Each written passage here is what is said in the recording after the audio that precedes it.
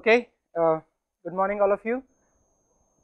So, uh, before I start a quick recap that we did last time, uh, I will just put on the whiteboard uh, that we have discussed about the intrinsic and extrinsic uh, semiconductors. So, we discussed about the Ni, NPI, intrinsic carrier concentration, we discussed about the doping N0 and P0 electron and hole concentration.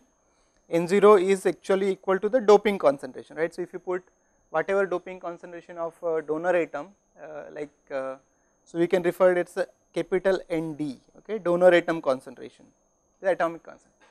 And similarly, P0 is acceptor atom. So, this will be a phosphorus and Na is acceptor atom concentration. So, P0 equal to Na, okay, that we have seen. Then we have we have also seen Ni as a function of EF Fermi level or EI. We have also seen Ni as well as N0 as function of EF and EI and EC. Okay. We also seen P0 and Pi as a function of EF, EV and EI. Okay. Then we also seen that N0 into P0 equal to Ni square. Then we have looked at the drift of the carrier motion that carrier motion uh, under the electric field and then we have looked at the diffusion of the carrier, the motion of the carrier under the concentration gradient dn over dx or dp over dx. So, these are the driving force electric field is a driving force to move the carriers from one point to other point and in one case diffusion is a driving force to move the carriers from one point to other point. Corresponding to this we can we have find out the drift current for the electrons and drift current for the holes. Okay. So, uh, so we have found out the Jn drift due to electron, Jp drift due to holes. Similarly, we have found out Jn diffusion due to electron and Jn uh, uh, Jp diffusion for the holes. Okay, and eventually current is sum of all these 4 components that we have seen. Also we have come up with the very important material parameters called the mobility which is a coming from the drift and the diffusion coefficient, diffusion coefficient which is coming from the diffusion. Mobility as a unit of centimeter square per volt second and diffusion coefficient as unit of centimeter per second and we also seen that Einstein by Einstein relationship the mobility and diffusion coefficient are connected with each other. Okay. Mobility and diffusion coefficient are the material parameter and as I said very very very important uh, for the operation of a solar cell. So, basically what we also seen that d by mu is equal to kT by q, kT by q. Okay. So, these are the things that we have discussed yesterday and now today uh, we will actually start uh, discussing the two other things that happen. Okay. So, our philosophy so far is okay what are the carriers? Electrons hole how the, how we can make uh, how we can increase the number of carriers? By doping. How the carriers move from one place to other place? By drift and diffusion. Okay? Now when it when it comes to the solar cell two important events take place. What is the light that falls in your solar cell? So generation of carriers and recombination of carriers are the two other important event that take place. Okay? So then in this lecture now we will uh, will look at the generation of carriers and recombination. So, how does carrier uh, uh, get uh, generated and recombined using uh, because of the light right. Carrier concentration, carrier concentration is affected by many things. What are the many things? One is doping right by increasing the doping you can increase the hole concentration electron concentration. What else? Thermal energy. Right? Because of the temperature your carrier concentration can increase. And as I said the intrinsic carrier concentration is defined at room temperature, but if you increase your temperature more and more electrons and holes get enough, energy to go from valence band to conduction band and therefore your carrier concentration increases. So, so temperature has an important role the third important function which can result in the carrier concentration change is we are talking about change is the light, okay, light generation, generation due to light. Okay. And the reverse reaction also take place and the recombination can also occur. So, this is what we are going to discuss in this lecture carrier generation and recombinations. So, what we have discussed yesterday is again transport of carriers in semiconductor, drift of motion of electron electric field, diffusion, drift velocity, mobility of carriers, diffusion motion of carriers under concentration gradient, diffusion coefficient, direction of current due to the drift and diffusion, okay, very important. So, if you know the direction of electric field, we should be able to find out the direction of current. If you, if you know the gradient, concentration gradient profile, we should be able to find out the direction of current due to the diffusion. This is all thing we have learned yesterday. So, let us continue. So, today we will look at the carrier generation and carrier recombination and this is very important for the solar cell. It is not important for the diode, right, because diode is an encapsulated material, there is a capping on it. So, light does not go in it. So, we do not worry about the carrier generation due to light, but here we are talking about the solar cell and therefore, we are also worried about the carrier generation due to light. Okay, fine. So, carrier can be generated because of the thermal excitation as I said because of optical excitation which we want to discuss. This we already discussed that. If the energy of the photon is equal to or greater than the band gap energy then that photon can give its energy to the electron and electron gets its energy from lower level and goes to the higher energy level okay? This y axis is a potential energy. Fine. If this is not the case okay? If photon energy is less than the band gap energy then material is transparent okay what does it mean? For example typical example is the glass okay of our window. In the glass window most of the light comes inside. Why? Because the band gap of the glass glass is a silicon oxide one of the dielectric material. And because it is a dielectric the band gap is very high and and what is the highest energy of photon in our spectrum? As we discussed the highest energy the photon energy in our solar spectrum varies from highest energy about 3.5 electron volt to lower side about 0.3 electron volt in this 3.5 electron volt is not enough to excite electron in silicon oxide which is a glass and therefore, all the photons gets transmitted. This should give you a very important signal immediately. What is that important signal?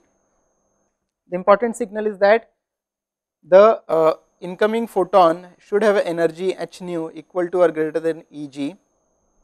My solar spectrum, solar spectrum has a photon which is as high as 3.5 electron volt at higher ultraviolet photon and lower side about 0.3 electron volt. Okay. This is what is available in solar spectrum. Now, the band gap of silicon which is the commonly used material for silicon it is 1.12 electron volt right. Now, connect this two number okay this is one number and this is another number range of the numbers. What you can derive from this that because the band gap of silicon is 1.12 electron volt and the photons in the solar spectrum range from 3.5 electron volt at higher side to 0.3 electron lower side which means not all the photons in our solar spectrum is absorbed in silicon also. Okay? Silicon is also transparent to infrared light and because we our eyes cannot see the infrared and therefore we do not notice it. But even silicon is transparent to some part of the light. Okay? So silicon does not absorb silicon also does not absorb 100 percent light. If it, does, if it does not uh, absorb 100 percent light means its efficiency definitely has to be lower and that is one of the reason why solar cells have lower efficiency that no material because it is a band gap it is a semiconductor so there is a band gap so all the photons which are lower than the band gap cannot get absorbed and therefore, that material also becomes transparent to some portion of the spectrum and therefore, we do not have 100 percent. Very important to note before we go further I will already tell you that the ideal band gap of a semiconductor for solar cell for solar cell is 1.45 electron volt. This is ideal. Okay. We want a semiconductor which is having 1.45 electron volt. Now, go back to your spectrum the sun spectrum and you will see that lot lot many photons are there which is having energy less than 1.45 electron. So, whatever solar cell you get, whatever the best solar cell you get, none of the solar cell actually absorbed 100 percent photon that is the important message I wanted okay. None of the solar cell absorbed 100 percent photons that are falling on it and that is important and that that is one reason why efficiency is low okay. So, let us move further energy has to be greater than equal to the band gap energy fine. So, now um, how do we know how much uh, how much absorption takes place like yesterday we discussed that uh, the absorption probability depends on whether the material is a direct band gap or a indirect band gap semiconductor right whether the material is direct band gap or indirect band gap. This is an example of okay so how much is the absorption probability is given by a factor called absorption coefficient? Okay absorption coefficient is given by alpha and alpha is a unit of inverse of length. Okay 1 over centimeter. That is inverse absorption coefficient. If you can see it clearly look at the value of the absorption coefficient. Power 5, tens power 4, tens power 3, tens power 2, 10 and 1. What do we want? Do we want absorption coefficient value to be higher or lower? We want absorption coefficient value to be as high as possible so that so that the light can strongly be absorbed and if light is strongly getting absorbed we can use only thin material to absorb the whole spectrum okay. Uh, so, higher is the absorption coefficient, stronger is the absorption, higher is the absorption coefficient, stronger is the absorption. So, if absorption coefficient is 10 power 5 or even 10 power 6, it is very good. If absorption coefficient is 10 power 2, what is the unit per centimeter? So, if absorption coefficient is only 10 power 2 per centimeter, then it is not good. Why it is not good? I will tell you. So, we have absorption coefficient, right and this is given by alpha and unit of alpha is 1 over centimeter that is what normally given okay. If I take the inverse of alpha absorption coefficient if I take inverse of alpha what you get unit of length okay and therefore it is called absorption length.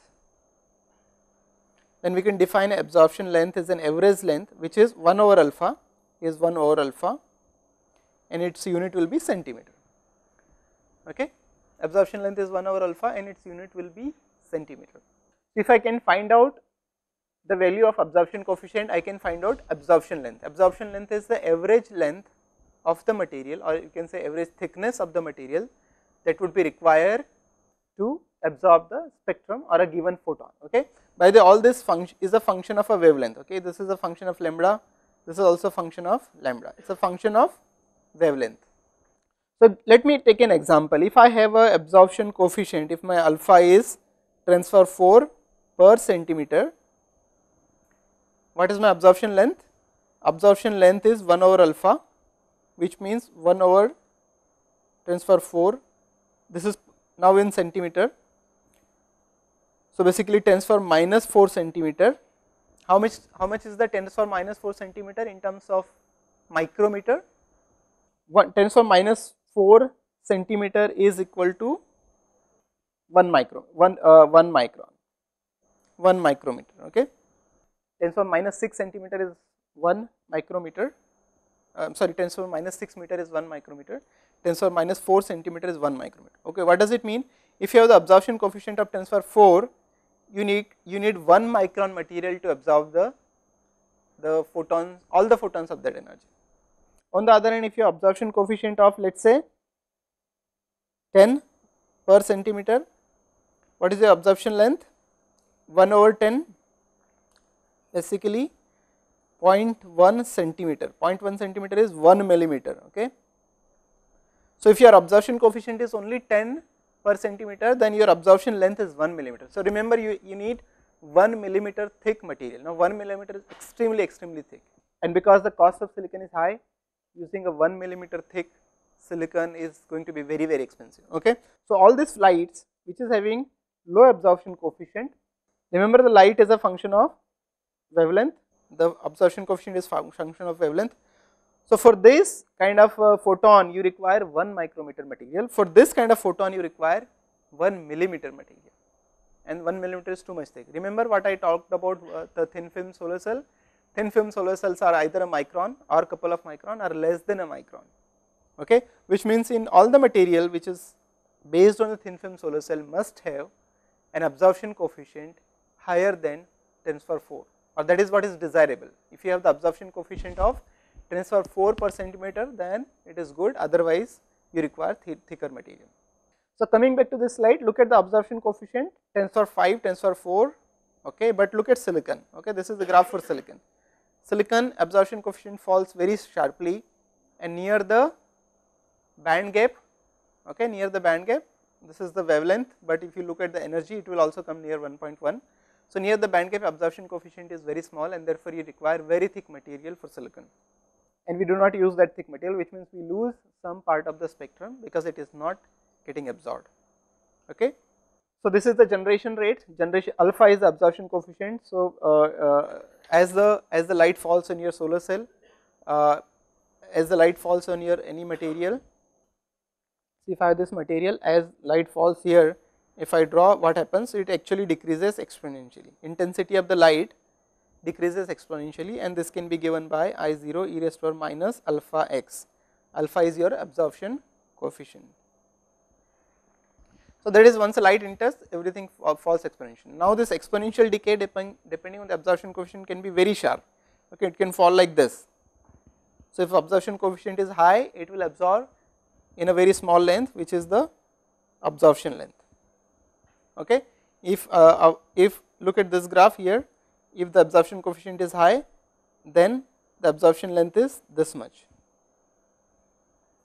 or if the absorption coefficient is even smaller, absorption take place like this, then your absorption length is this much, right. So, depending on your absorb absorption coefficient, your absorption length increases smaller absorption coefficient means higher absorption length. Higher absorption length means higher thickness of the material that you need to have and higher thickness means low, more cost because you require you are using more material. Fine. So, these are the various band gap and I told any photon which is having less than the band gap does not get absorbed which means amorphous silicon actually lose lot of spectrum all the photons having energy less than 1.7 electron volt do not get absorbed in crystalline silicon all the photons having energy less than 1.12 electron volt do not get absorbed and this is already a significant loss.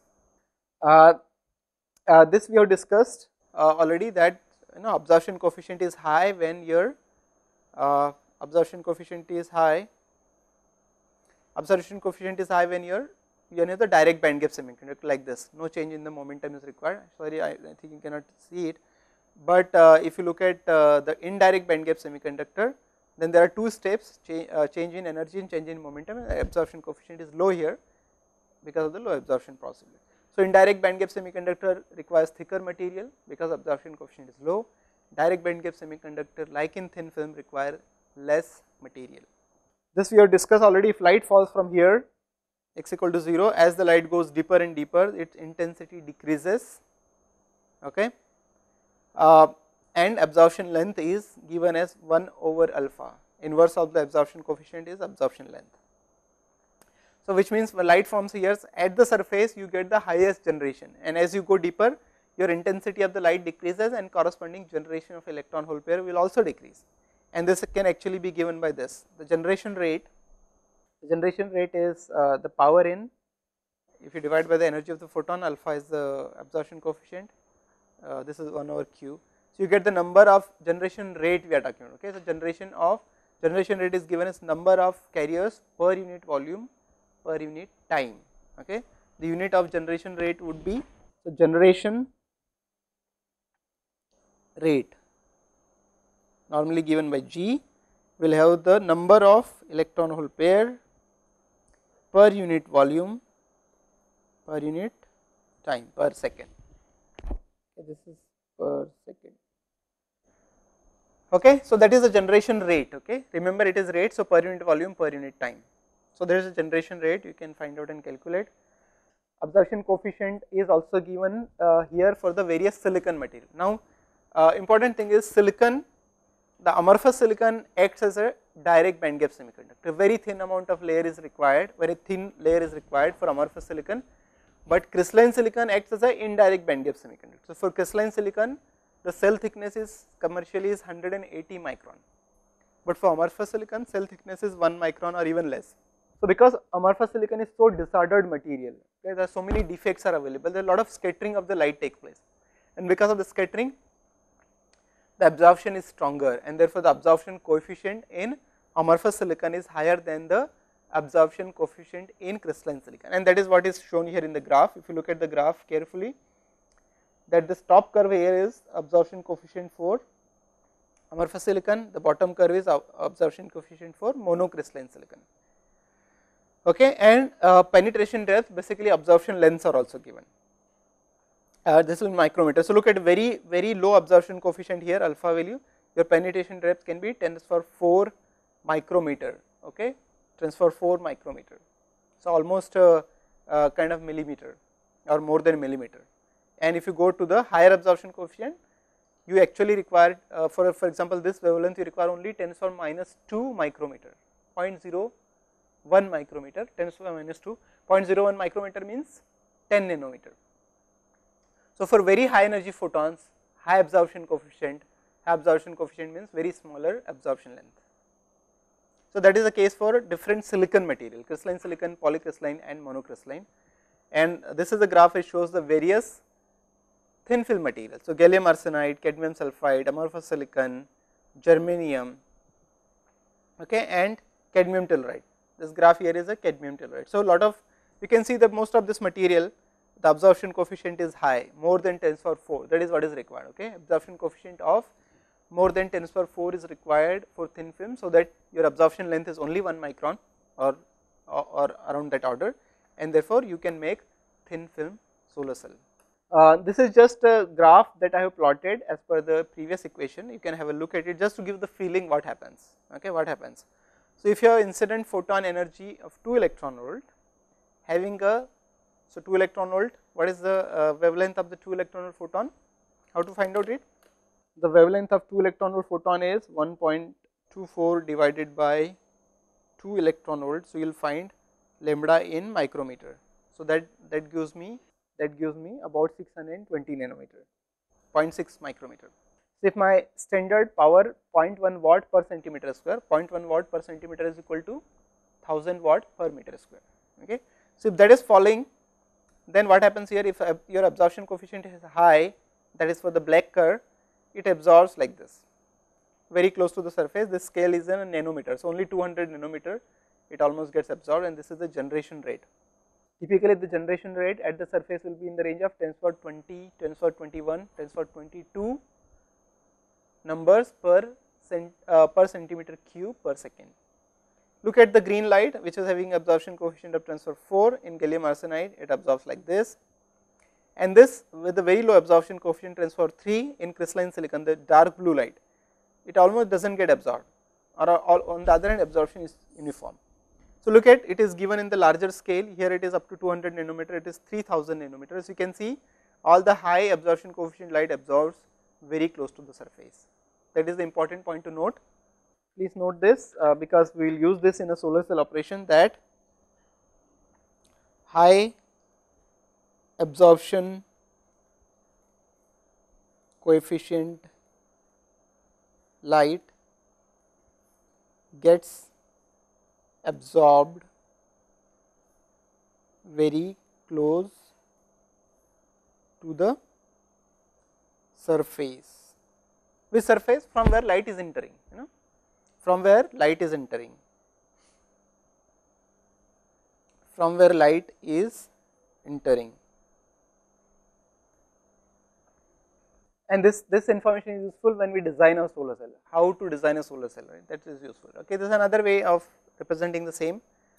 That low absorption coefficient light this is given in terms of the uh, normalized way okay? So most of the absorption takes place here but uh, the high absorption coefficient light gets absorbed close to the surface low absorption coefficient light get absorbed more or less uniformly almost everywhere so note note this point and this is again the table just uh, you can also find out this, but I have uh, kind of summarized what happens here. So, for if I have 400 nanometer light, okay, 400 nanometer is corresponding to 3.18 3.1 electron volt light, a photon of 3.1 electron volt. If it is a crystalline silicon, you require 0.15 micron material to absorb it. If it is amorphous silicon, you require only 0.05 micron to absorb it. 0.05 micron 50 nanometer only. If you CIGS again you require only 50 nanometer, if gallium arsenide you require about 90 nanometers. If you have 600 nanometer, okay, so higher wavelength, remember what we have observed in this graph as the wavelength increases x axis as the wavelength increases absorption coefficient decreases, okay, as the wavelength increases absorption coefficient decreases.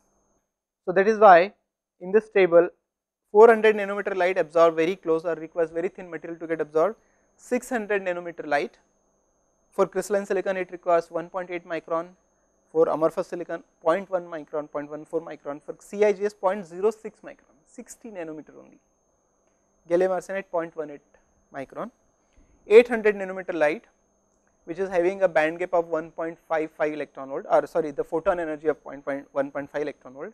In crystalline silicon it requires 9.3 micron. In amorphous silicon it will not get absorbed. Why? 800 nanometer light will not get absorbed in the amorphous silicon. Why? Question to you all, I will not give the answer, you discuss. I will not give the answer, you discuss and find out the answer. Why 1.8 nanometer, I am sorry 800 nanometer light will not get absorbed in silicon. Look at the energy 1.55 electron volt because this energy is less than the band gap energy of amorphous silicon which is about 1.7 electron volts therefore, it will not get absorbed here. 1000 nanometer 1000 nanometer photon or 1.24 electron volt will require 180 micron. Look at the thickness how it is increasing. Why? Because 1000 nanometer photon have a lower absorption coefficient and obviously this 1.24 electron volt is lower than the absorption um, lower than the band gap energy of amorphous silicon it will not get absorbed here. In, in CIGS it requires 0.25 micron even see what is the difference here it requires in crystalline silicon 180 micrometer in CIGS it only requires 0.25 micron and gallium arsenide will not get absorbed because the band gap of gallium arsenide is also 1.45 electron volt. So, I hope this is clear to all. This we have already discussed high absorption prob probability in direct semiconductor, low absorption probability in indirect semiconductor. Fine. So, that was all about the absorption in the semiconductor. Absorption does what? It results in a generation of extra electron hole pair. Okay, it results in generation of extra, extra electron hole pair. But everything which goes high in energy can also come down, right? Everything which goes high in energy can come down. For example, this my pen, if I drop it, it comes down. Why it comes down? Because it is a higher energy level, it wants to come down to the lower energy level. So, this my excited electron which is going to higher energy level by getting the energy from a photon can also come down to the lower energy level and it give away its energy. That is, that is also possible, right? In fact, the recombination is something we do not want if your recombination is taking place in a solar cell or if lot of recombination is taking place in a solar cell, then the solar cell efficiency will be low. Okay? So, this process that electron comes down from the high energy level to low energy level that is from conduction band to valence band, this process is called recombination and we do not want recombination. Why we do not want recombination? Because the photon has done its job, photon has actually given energy and excited a carrier. Now, this carrier actually should be useful to do our work. And what is the work we want this electron to do? We want this electron to uh, run a light for us, it should go through the fan, it should go through the light, it should go through the computer and do the work rather than coming down here directly, right? That is what we want. So, uh, what we want that or normally what happens in a power plant for example, what happens in a power plant? In a power plant this uh, uh, you actually run your turbine, you run your generator, so that uh, electron energy you increase its potential.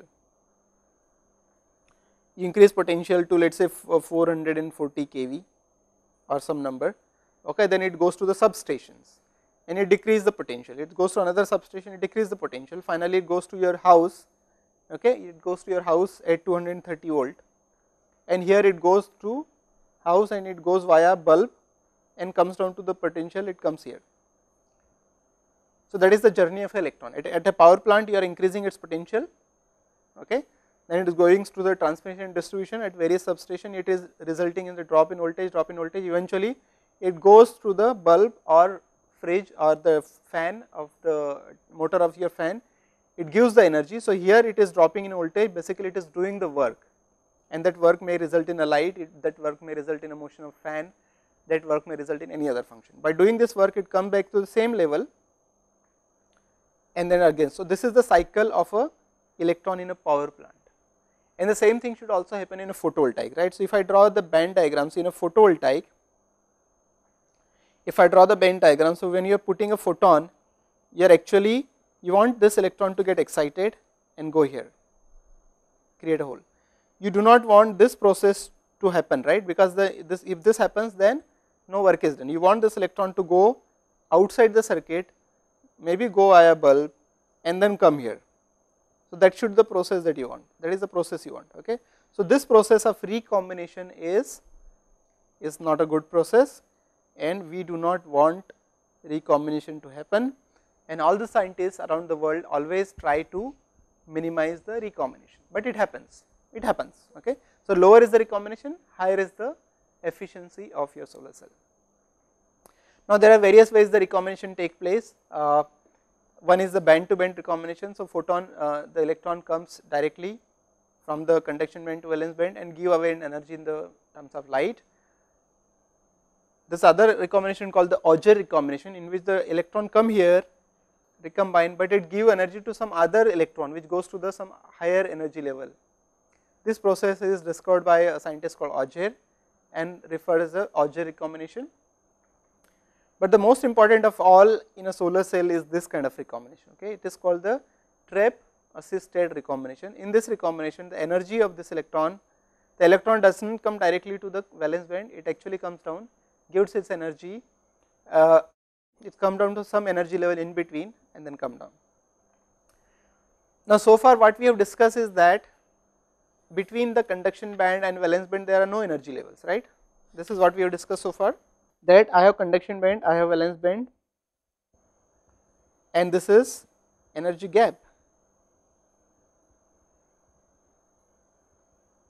This is energy gap, there is nothing in between, but in practice when you manufacture your solar cell or when you manufacture a material, there are a lot of defects that are there in material, there are a lot of impurities that are there in material and this impurities suppose in uh, for example in silicon the common impurities could be you know uh, some part of the copper, some iron, some silver, very very small quantities, parts per billion kind of thing. Okay, one atom in one billion atom of silicon.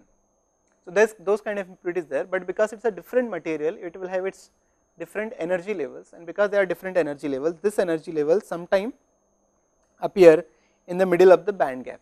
Okay, and remember because the concentration of these impurities are not that high, or defects is not that high, and therefore these energy levels are isolated, they are not continuous in nature.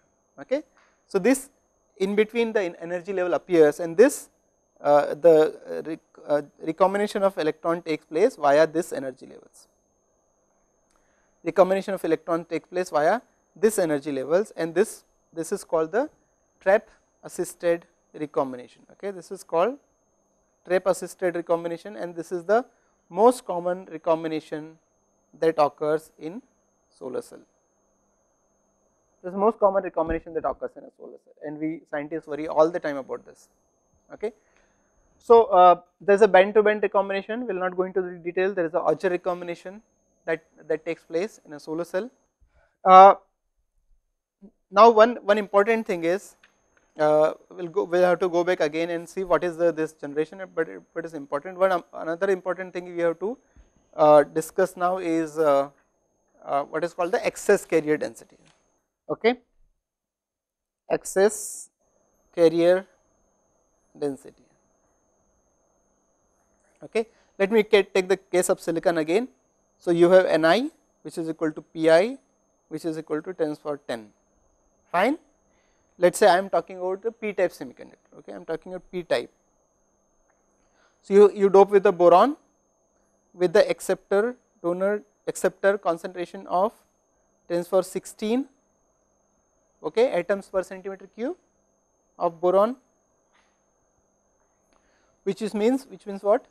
What is the hole concentration what is the hole concentration? 10 power 16 okay so then your p0 is also 10 power 16 okay so this was the starting point. You doped with the boron you get p0 10 power 16 what is your n0 so, then you have to apply P0 into N0 equal to Ni square. And N0 is equal to Ni square by P0 Sometime we also write Ni square by what is P0? P0 is equal to Na. So, we can also write Na. So, this is tends for 20 coming from here and this is tends for 16 here that we have done the this solution we have done yesterday, but I am just repeating again for your sake. So, we get electron concentration of 10 power 4 per centimeter fine okay. So, what has happened? So, at the end of the story we have n0 equal to 10 power 4 and we have p0 of 10 power 16 fine very nice that is the situation. Now, let us go to the next page and now let me put a light on my semiconductor. Okay. So, what is this scenario I will repeat. So, my scenario is that I have a semiconductor okay. In that semiconductor my N0 which is the minority carrier elect I am sorry electron is 10 for 4 per centimeter cube and I have majority carrier which is hole is 10 to power 16 per centimeter cube. Now, this is the condition at t equal to 0 time t equal to 0 I have this condition. Time t equal to 0 I have this condition. Now, I am putting light okay? When I put light on it what happens? When I put light on it what happens?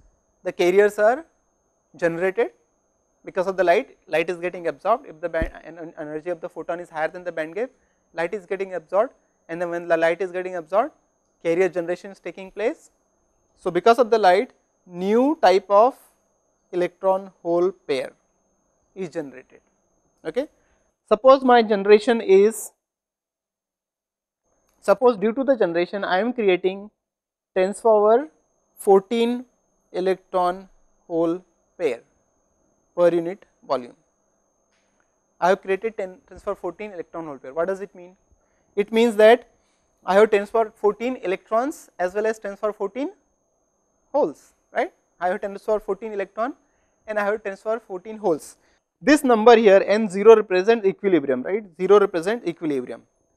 Equilibrium means no disturbance, but now I am putting the light, my semiconductor got disturbed, a semiconductor got disturbed, but if I look at the new electron concentration let us say n, the disturbed condition is n, undisturbed that is equivalent to n0. So, my new electron concentration should be n0 plus n due to the generation right. Similarly, my p new hole concentration should be p0 plus p due to the generation and this is n generation equal to p generation right. What happens to my new what is electron in this case this, this is a p type right. So, electron is a minority. So, n equal to 10 power 4 plus what is the new generation electron 10 power 14 my god. So, from and what about the p it is 10 power 16 plus 10 power 14. What happened to the minority carriers and what happened to the majority carriers? 10 power 4 plus 10 power 14 is almost equal to 10 power 14. 10 power 16 plus 10 power 14 is almost equal to 10 power 16. What do you see here? Because of the light falling on your semiconductor such that the electron hole pair generated is 10 power 14 per centimeter cube electron hole pair by the way. So, both electron concentration and hole concentration due to the generation is 10 power 14. Therefore, new minority carrier concentration is much much much much higher than the 10 power 4 initially it was 10 power 4 now it is 10 power 14 the electron concentration which are in minority for p type has increased by 10 orders of magnitude. What happened to the majority carrier concentration? Hole? Nothing. It was earlier 10 power 16 now the new generation 10 power 14 which is 0.00 0.01 times 10 power 16 okay? So, there is hardly any increase in the majority carrier concentration, but minority carrier concentration has changed significantly. This is a very important point to note that in solar cell minority carrier concentration changes drastically because of the light falling on it. And because of this drastic change in minority carrier lot of behavior of a solar cell is also determined by minority carrier concentration and change in minority carrier concentration. Got it? Very important point to note. I will also show you some graph why it is important. So, this change in the uh, minority so delta n okay? This delta n is the excess carrier concentration. And the delta p is the excess carrier concentration okay, excess carrier as compared to the equilibrium. Okay. So, I can I can say it this delta n or the excess carrier is new n value which is the disturbed condition minus undisturbed condition. N minus n 0, n 0 is the disturbed condition okay? Non equilibrium minus equilibrium. That is delta n. And we refer as the excess carrier concentration right. Similarly, delta p is disturbed condition that is p minus undisturbed condition that is p 0 that is delta p. So, that is the slide is showing okay. Delta n is n minus n 0 deviation of the carrier concentration from equilibrium similarly delta p is p minus p 0 deviation of carrier concentration from equilibrium okay. Low level injection tells me that what is this situation now? After I put the light on it this was a p type semiconductor. If I put a light on it such that there are tensor 14 electron hole pair are generated my hole concentration remains unchanged. Tensor 16 my electron concentration which are minority is tensor 14 tensor 14 is still much smaller than the tensor 16 so my p type semiconductor remains p type only right?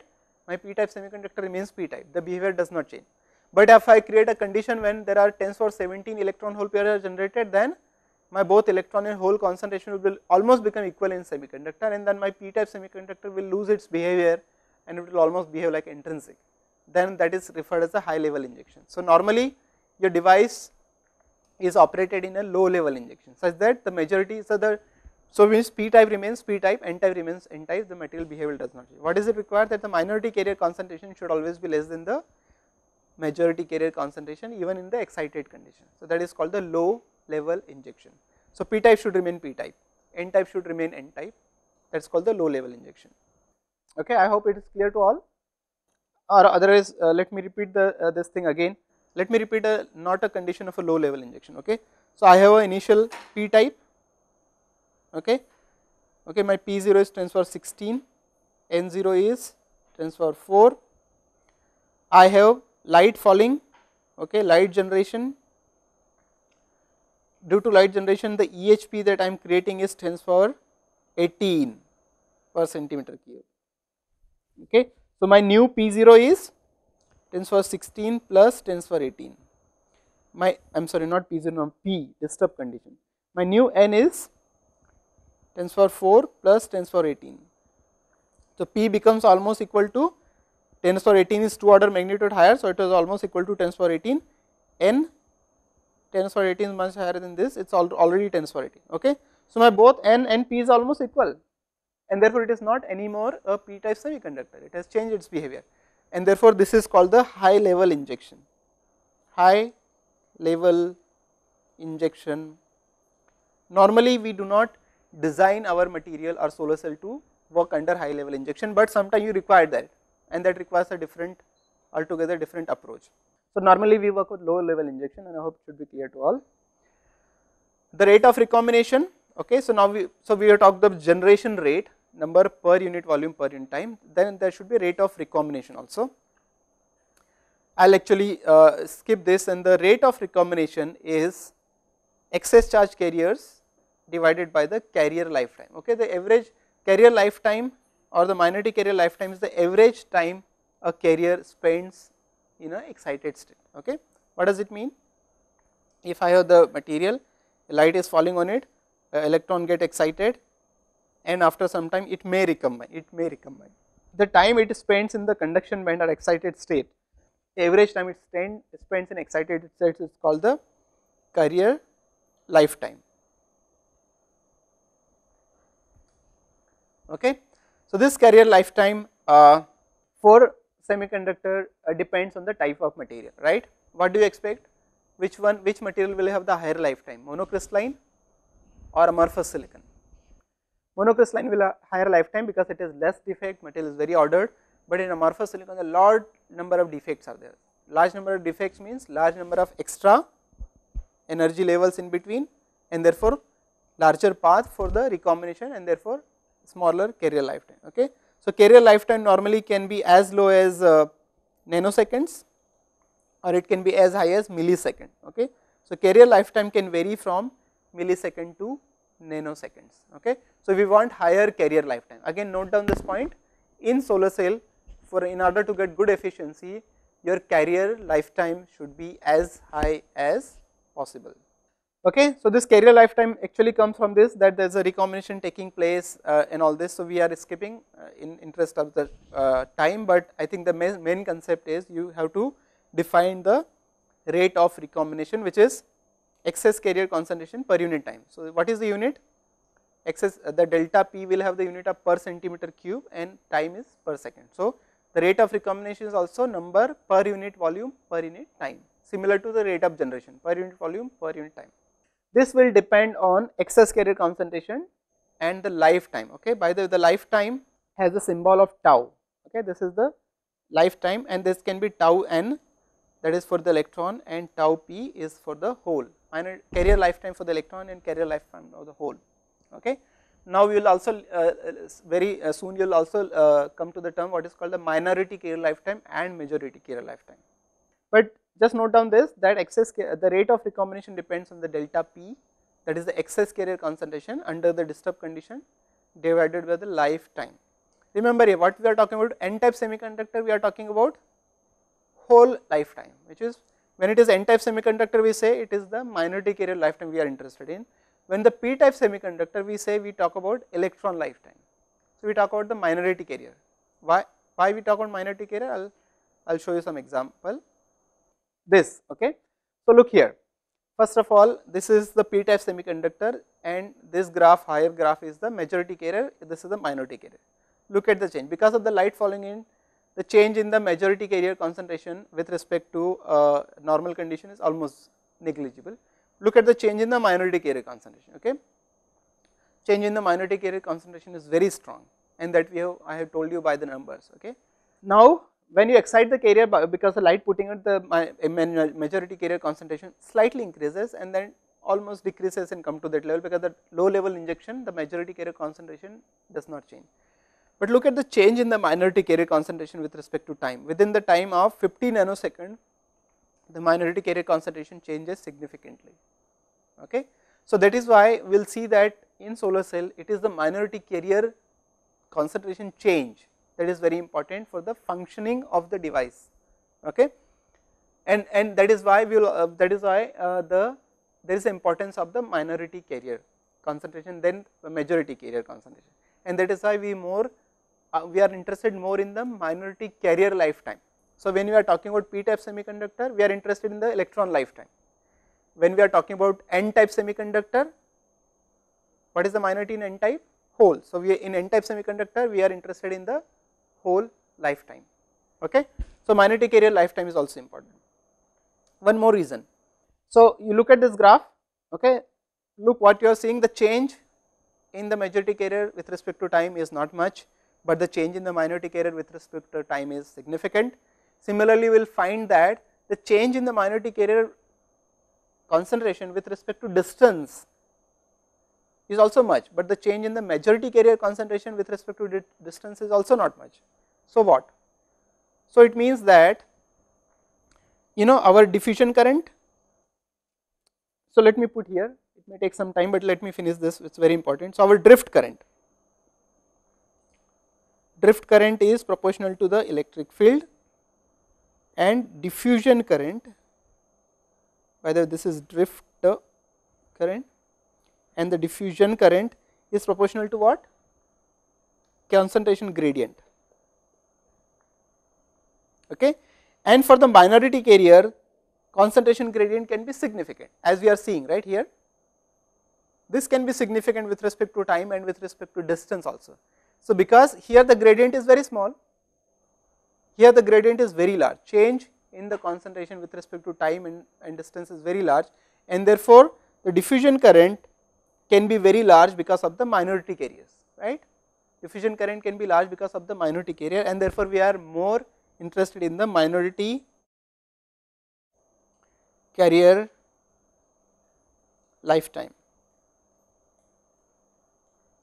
I hope everybody got this. We are more interested in the minority carrier lifetime because again let me repeat in solar cell operation because of the various reasons that I am giving you now and we will discuss later that the minority carriers plays very very important role and that is why minority carrier lifetime okay. So that is why here the change in the minority the rate of recombination is for the n type solution it depend on the minority carrier lifetime. So, delta p uh, by delta tau p for the n type semiconductor. Let me tell you one other reason how, uh, one other way why minority carriers are, are important right. Okay, so suppose you have p type semi n type semiconductor.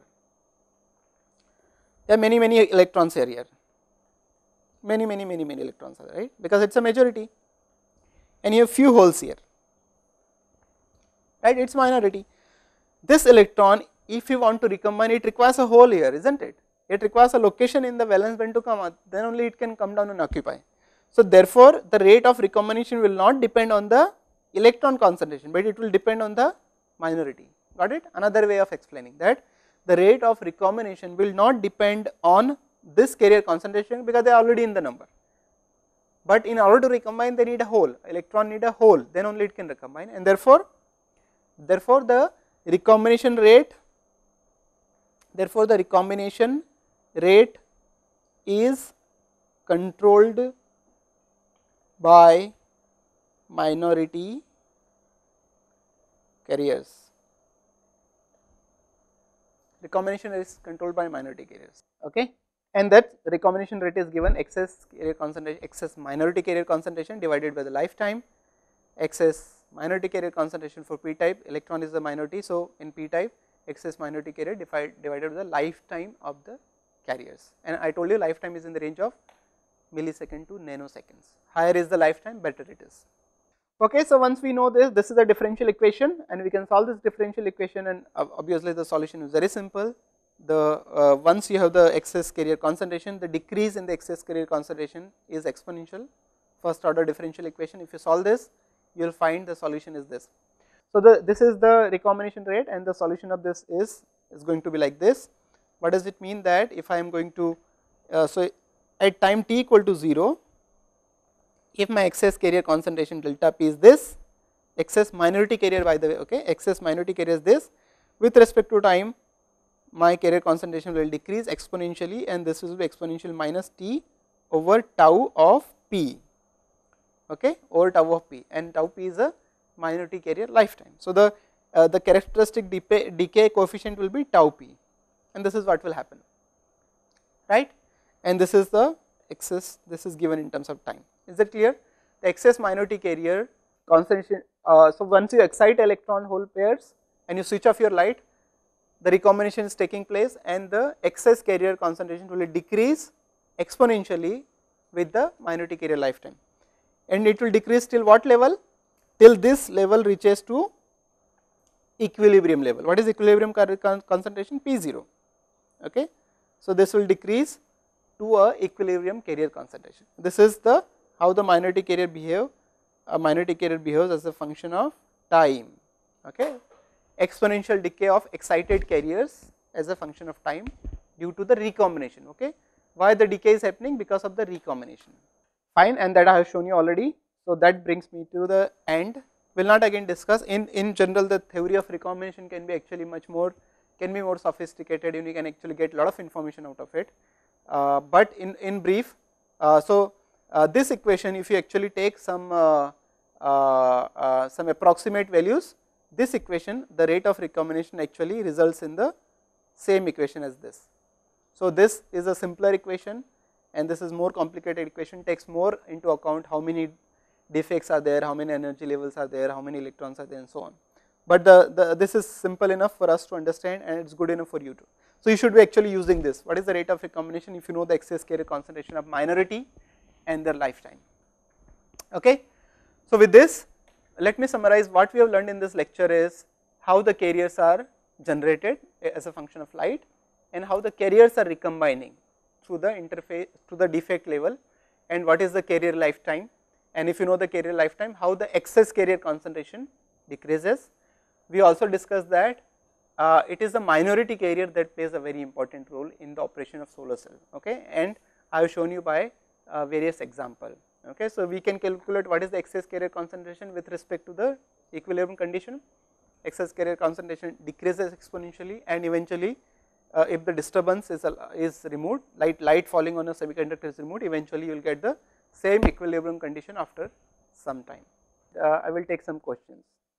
Okay, Pandit Deen Day- Deen Dayal University. Namaste sir, this is Smita Joshi.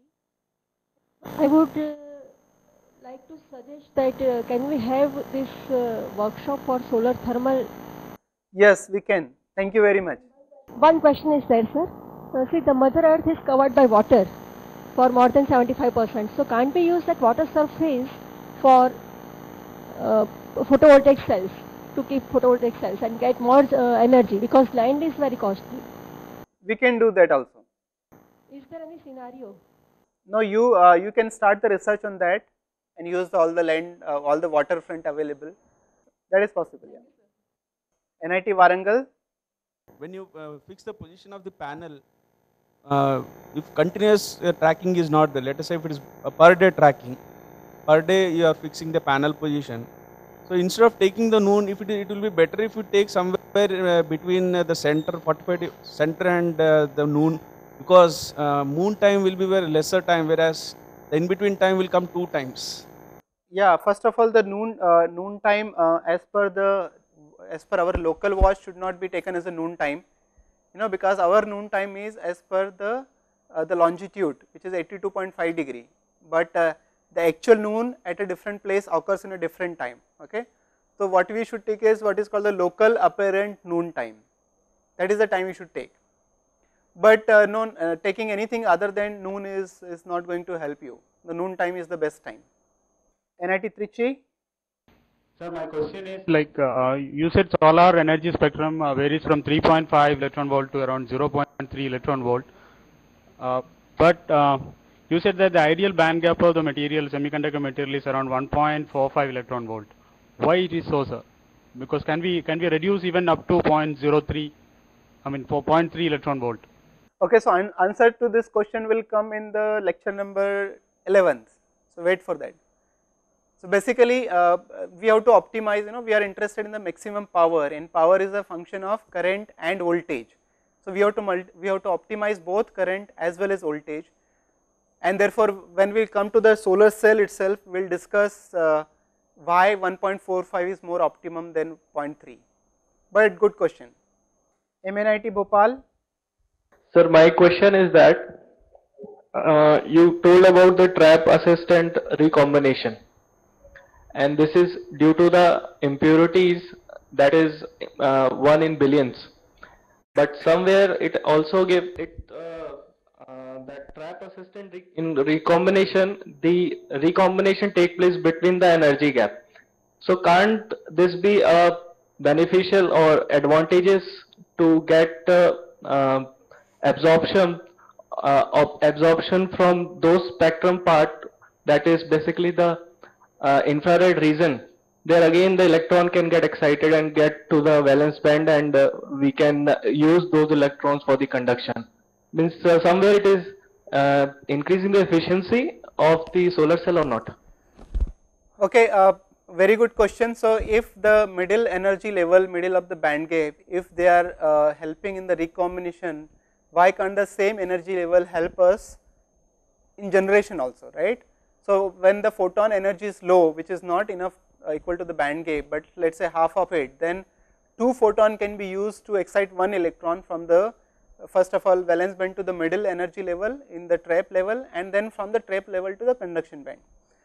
Oh, well, that is possible, but you know you require that uh, extra trap energy level in a very large density.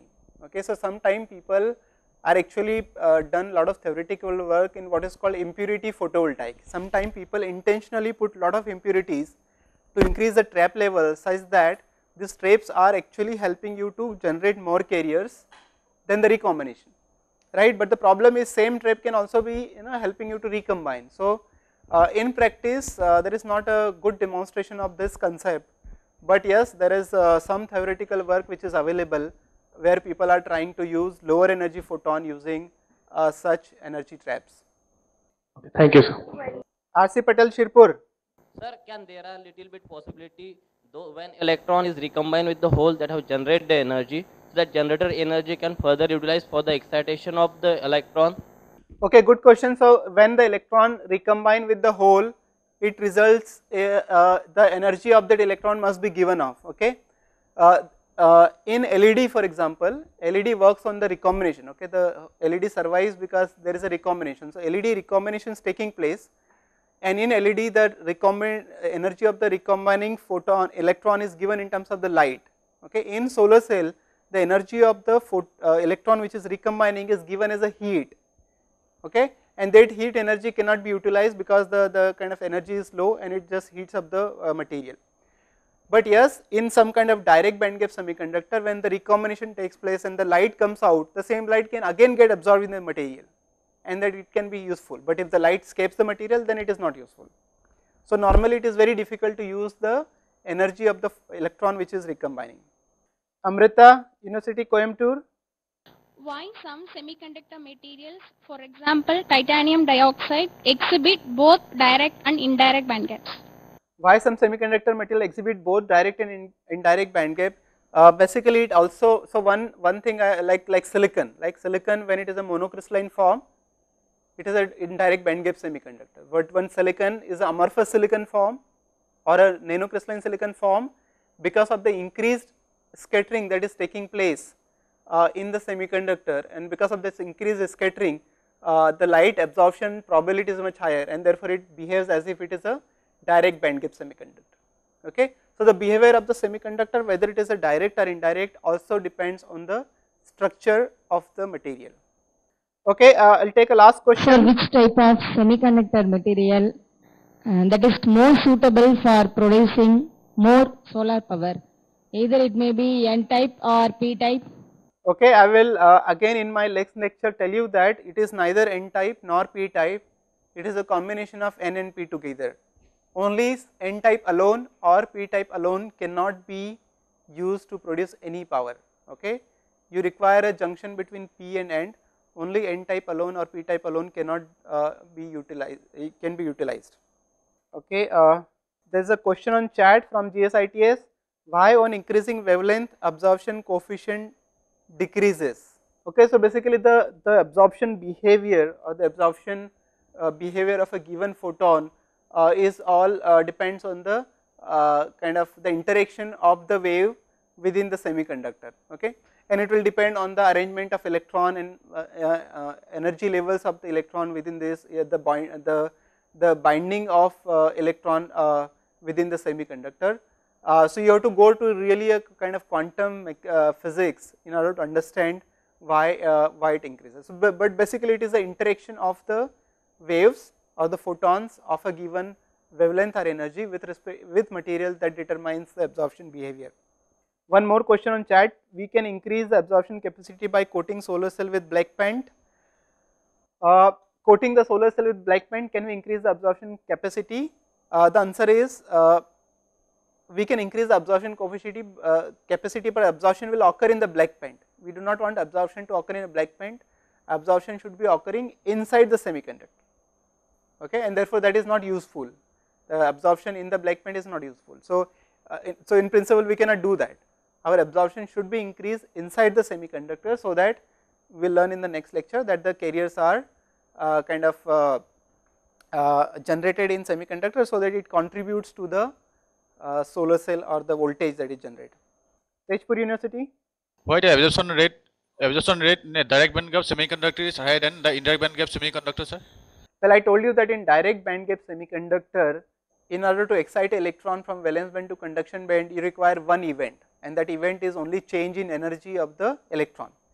But in indirect band gap semiconductor, if you want to excite electron from valence band to conduction band, you require two events. First, it has to change its energy and it has to change its momentum also. Okay? And whenever events take place in series, the chances that it happens successfully reduces and therefore, the probability also reduces. So, it is a question of one event versus two event. In the indirect band gap semiconductor because two event take place the change in energy and change in momentum and therefore, the probability is lower. Okay fine, thank you very much, all the best.